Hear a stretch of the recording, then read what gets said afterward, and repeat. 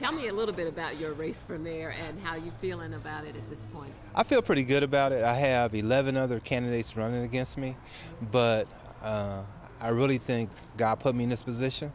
And if it's time for me to leave, if that's what God says, I'll be gone. But if He wants me to do another term, I'll be back in there. How strongly do you feel, though, about running? Are you, are, do you feel you've accomplished the job that you set out to do, or is there much more to do? I think I've, we made a lot of accomplishments. I don't just say I, I think it's we.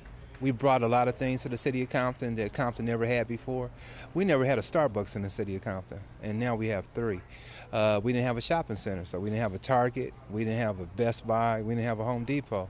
We didn't even have a, a what people consider a nice sit-down restaurant. Now we have a Fridays. So I think we accomplished a lot, but there's a lot more I would like to get accomplished. Uh, one of the things I like to get accomplished is just to get us on a basic maintenance schedule for quality of life issues like paving the streets, trimming the trees, graffiti removal. That's just basics. That's what we're supposed to do as a city. But I also have some more, I say you would say more grand plans. Uh, I would like to have the Alondra Grand Park completed. Uh, in the city of Manhattan Beach, they have the sand dunes, and they don't want people to use them.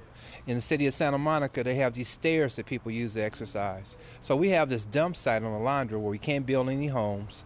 So we can build a park. So what I would like to do is put replicate what they have in Manhattan Beach and Santa Monica and Compton. So we'll put some a sand dune in the middle, two stairs, concrete stairs, wooden stairs on each side.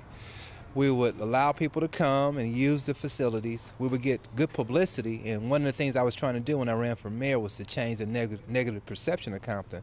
And that's why we came with, up with the motto of birthing a new Compton. It's really a spiritual thing. So people will come to Compton. We will get positive publicity instead of that negative publicity we have been getting in the past. And then eventually, man, we can charge outsiders to come to Compton and use our facilities. Speaking of negative publicity, you did have an incident a few weeks ago mm. where a family or black family was kind of run out of Compton by a gang in what appeared to be some sort of ethnic cleansing. Um, what you, what's, what's happened since then, and how do you stop something like that from happening? Well, since then, those t- two gentlemen they were indicted uh, by federal by the federal government on four counts of hate crime, which carries 10 years maximum peace. So they're looking at 40 years. I think that's a deterrent. Anybody who wants to do anything against another group, you're looking at going to prison for a very long time. So what we've been trying to do, we've been trying to reach out to the various uh, people in the community, leaders in the community, and just ordinary people, the blacks and the browns, to get together to say that this is not about this. A few bad apples, we try to ruin it for the whole bunch. Because it, it, it, gives that, that feeling that Compton is not a safe city. Is Compton a safe city? Compton's very safe. I, I have to commend the sheriff's department. Our crime rates are at the lowest rates. We're just still fighting that negative perception we've had going back for decades. And speaking of the negative perception, part of that came from the past mayor, Omar Bradley, who is back in the race.